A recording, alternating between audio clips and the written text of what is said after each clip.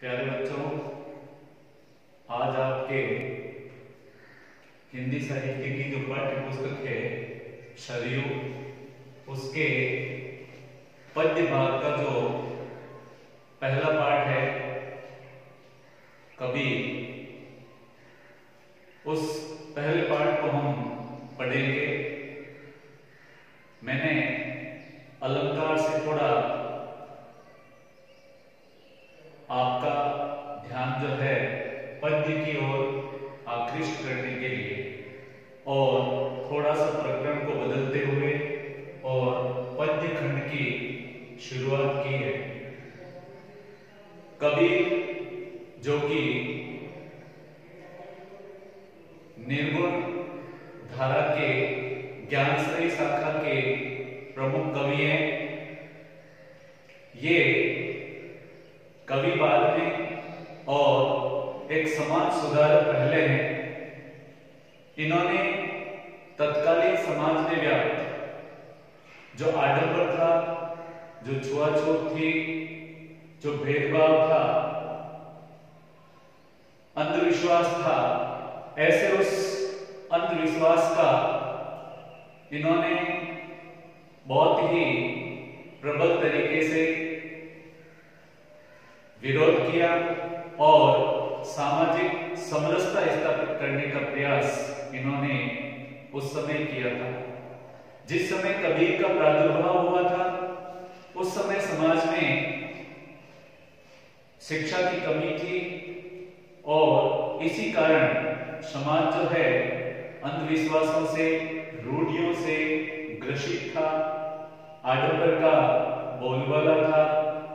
तो कबीर ने तत्कालीन समाज को एक नया मार्ग दिखाया, उनका मार्गदर्शन किया।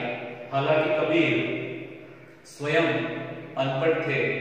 उन्होंने अपने बारे में कहा है कि मसी कागज़ छुयो नहीं कलमन लीनी हाथ। तो इससे स्पष्ट होता है कि उन्होंने इस तरह की औपचारिक शिक्षा प्राप्त नहीं की थी।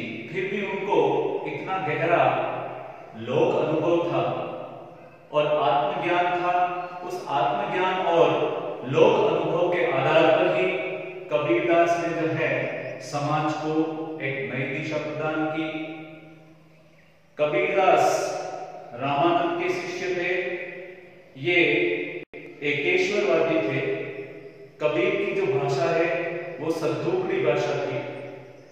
इनको भाषा का डिक्टेटर अर्थात तानाशाह कहा जाता ये आदत से अक्कड़ स्वभाव से अक्कड़ थे, कहने का मतलब बहुत सादा जीवन था इनका। और इस तरह से इन्होंने जो है, अपने लौकिक ज्ञान के आधार पर समाज को एक नई दिशा प्रदान की। इनकी जो प्रमुख रचना है, उसका नाम है बीजल।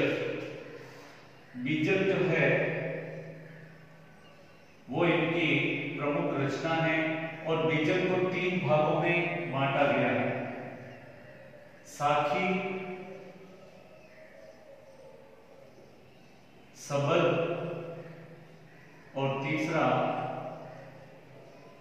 रमे साखी, सबल रमे भाषा के बारे में मैं बता ही चुका हूँ।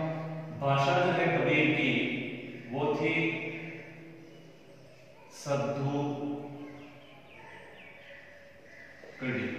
सद्धू इस प्रकार कबीरदास जो है, उन्होंने समाज को एक नई दिशा प्रदान करते हुए और समाज का मार्गदर्शन किया। वर्तमान परिप्रेक्ष्य में भी देखें तो कबीरदास के दोहे जो हैं, वो पूरी तरह से आज के परिप्रेक्ष्य में भी जो है खरे उतरते हैं। आज भी हम देखते हैं समाज में बहुत सारा ऐसा अंधविश्वास आडंबर छुआछूत इत्यादि आज भी विद्यमान है। और इस तरह से हम कबीरदास के दोहों से, उनके द्वारा दी गई शिक्षा से सामाजिक सुधार ला सकते हैं। ये तो था कबीरदास का एक संक्षिप्त साहित्यिक परिचय, जिसमें उनकी साहित्यिक उपलब्धियाँ और साहित्य के क्षेत्र में कबीरदास का जो योगदान रहा, उसके बारे में मैंने आपको बताया। क्योंकि परीक्षा में साहित्यिक परिचय पूछा जाता है तो उसमें साहित्यकार का जो साहित्य के क्षेत्र में योगदान रहता है वह, और साथ ही उसकी जो साहित्यिक उपलब्धियाँ होती है, उनको प्रमुख रूप से बताना पड़ता है।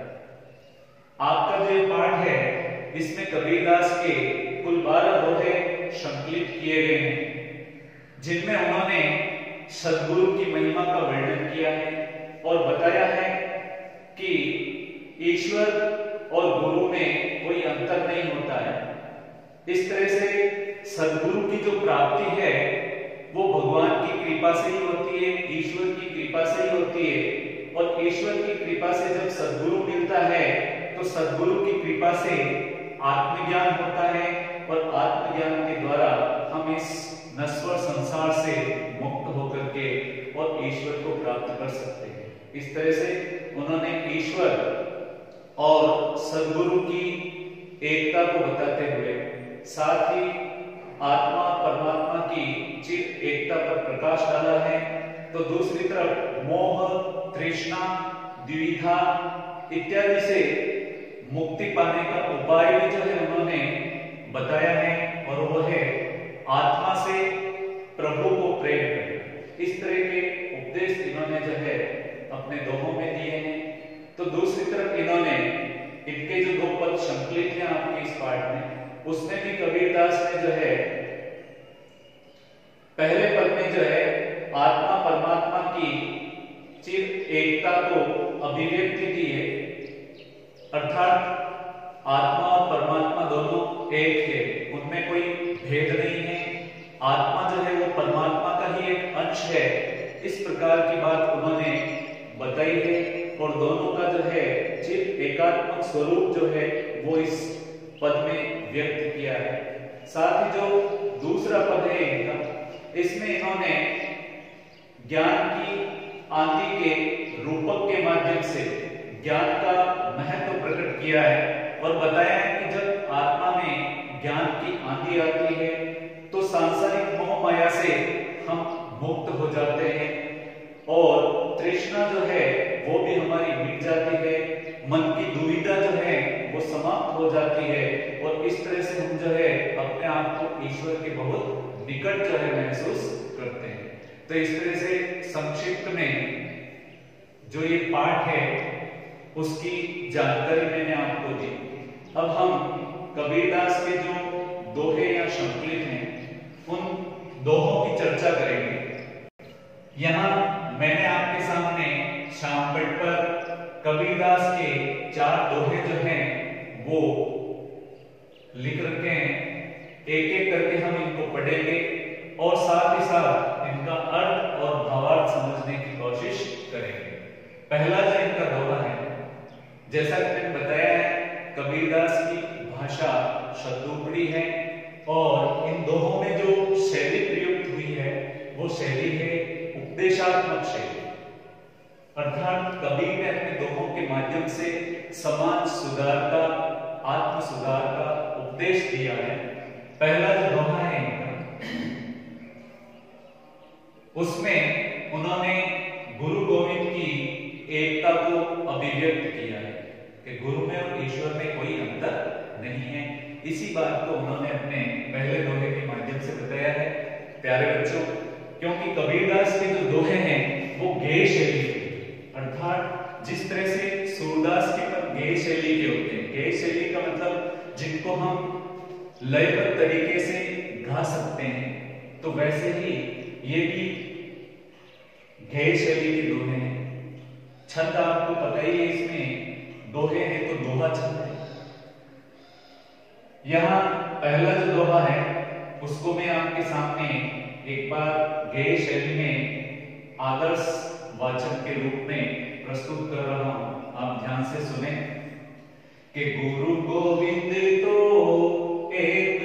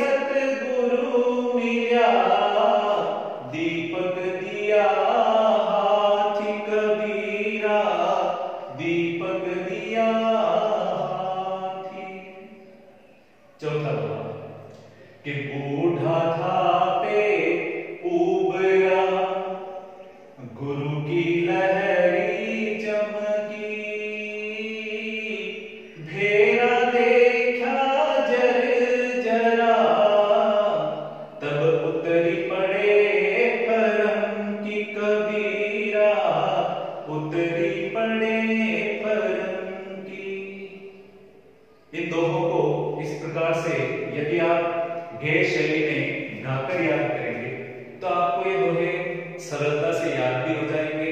और आप यदि किसी को सुनाएँगे तो सुनने वाला भी आपको इस तरह से इन दोहों को सुनकर के और निश्चय ही उसको भी अच्छा लगेगा।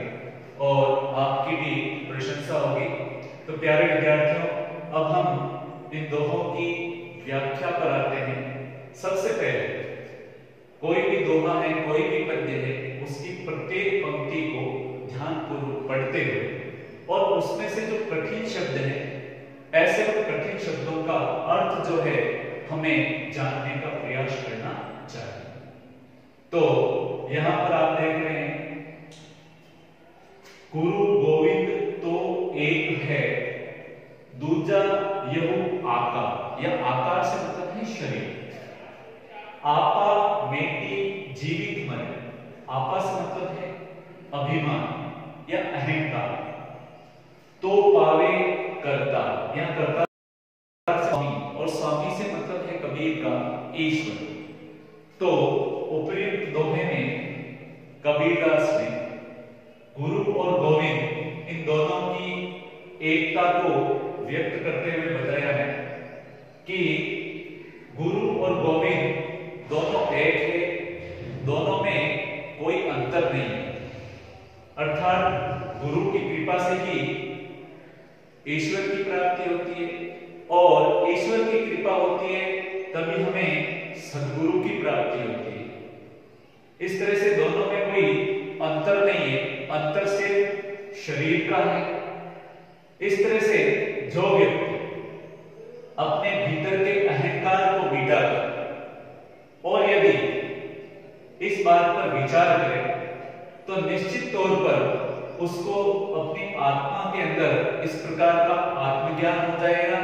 और जब उसकी आत्मा में उसे इस तरह का आत्मज्ञान होगा, तभी उसको ये समझ में आएगा कि गुरु और गोविंद इन दोनों के अंदर किसी तरह का कोई भेद या अंतर नहीं।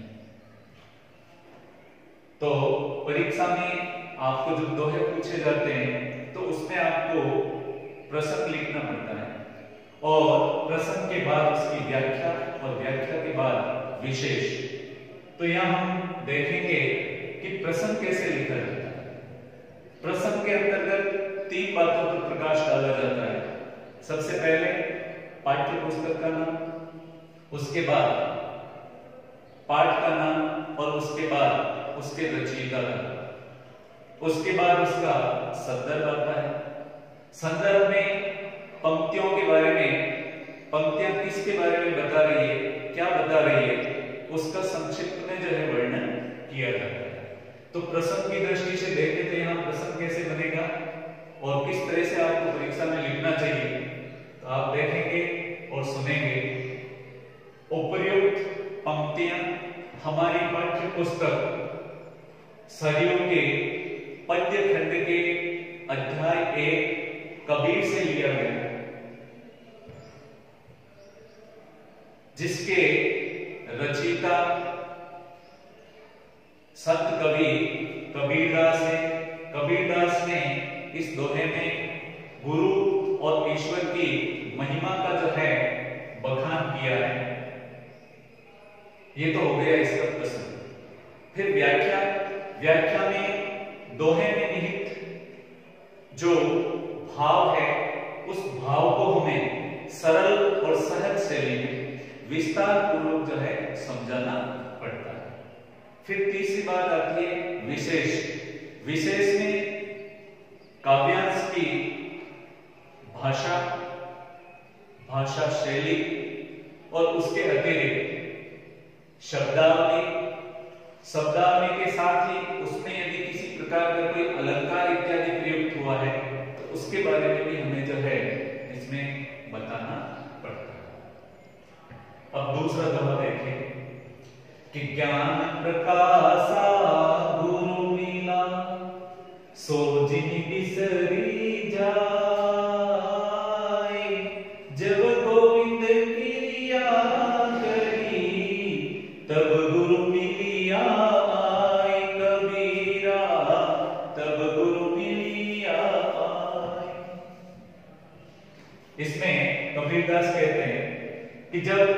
भगवान ने हमारे ऊपर कृपा की।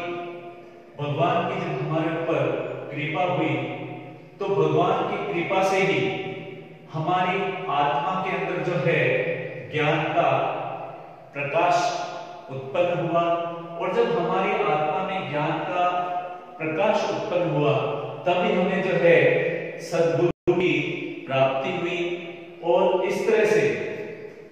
जो सदगुरु हमें मिले हैं, उनसे जो ज्ञान मिला है, ऐसे उस को ऐसे उस सदगुरु को हमें कभी भूलना नहीं चाहिए। इसमें भी गुरु की महिमा का वर्णन है कि जब ईश्वर की कृपा होती है, प्रभु जब हम पर कृपा करते हैं तो उनकी कृपा से ही हमें आत्मज्ञान होता है, और जब आत्मज्ञान होता है, तभी हमें सदगुरु की प्राप्ति होती है। और जब सदगुरु की प्राप्ति होती है तो निश्चय ही ऐसे उस सदगुरु को हमें कभी उसके द्वारा दिए गए ज्ञान को कभी भूलना नहीं चाहिए। इसमें भी प्रसंग वही बनेगा।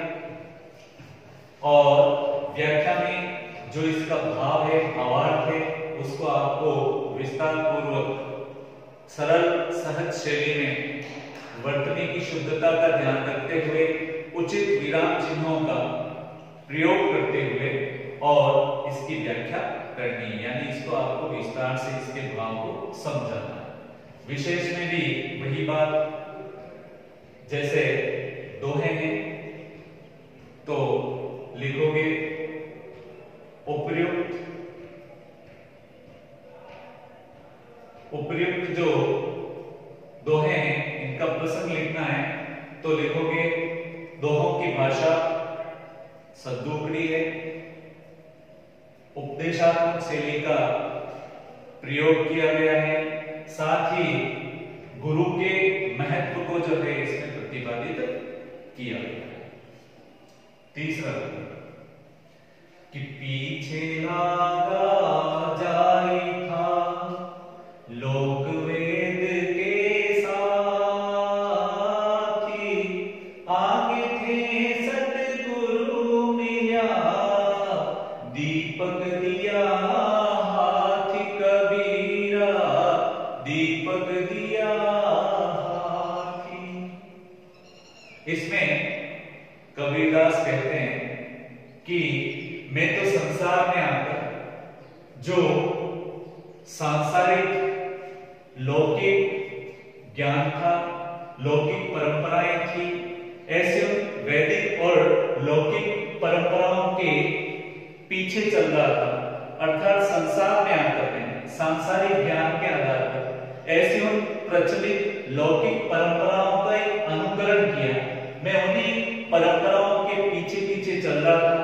उन्हीं परंपराओं का पालन कर रहा था कि इतने में मुझे ईश्वर की कृपा से सदगुरु मिल गए और जब मुझे सदगुरु मिले तो उन्होंने मुझे ज्ञान रूपी दीपक दिया।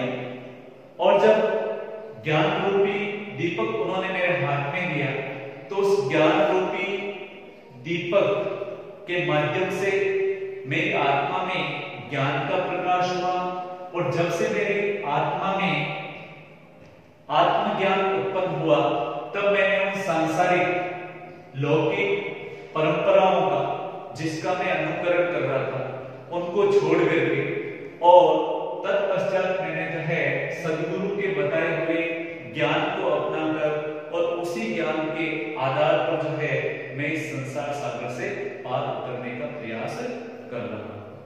इसमें आप देख रहे हैं, ये जो दीपक दिया दीपक दिया इसमें रूपक अलंकार है। अर्थात दीपक से मतलब है ज्ञान रूपी दीपक। ज्ञान रूपी दीपक। या दीपक के ऊपर ज्ञान का आरोप किया गया है। उपमेय पर उपमान का अभेद्य आरोप होने के कारण और यहाँ पर रूपक अलंकार तो आप देख रहे हैं, कबीरदास कहते हैं कि हमें सांसारिक लौकिक परंपराओं का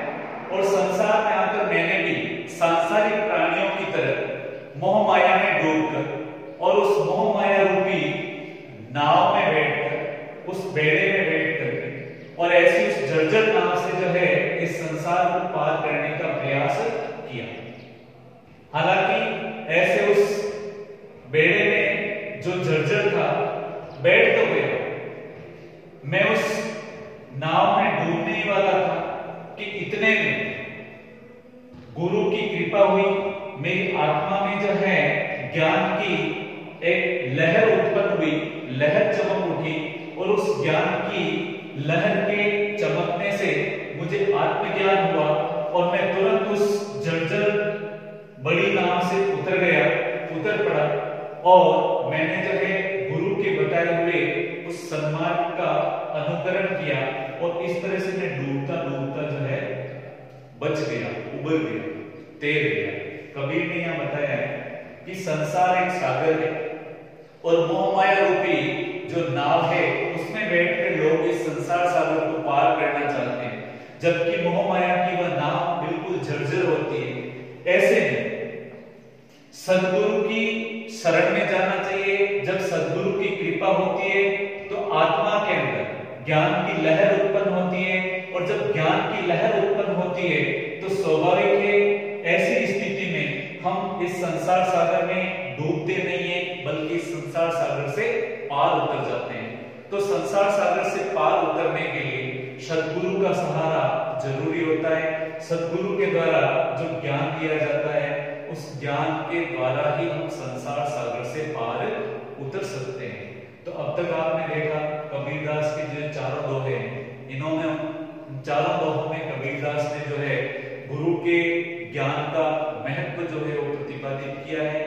तो निश्चित तौर पर गुरु के ज्ञान से, आत्मज्ञान से ही हम इस संसार सागर से पार उतर सकते हैं। कबीर के जो संकीर्ण दोहे हैं, जो पठित दोहे हैं वो वर्तमान दृष्टि से भी महत्व रखते हैं, वर्तमान दृष्टि से भी उनका उतना ही महत्व है जितना तत्कालीन दृष्टि से था।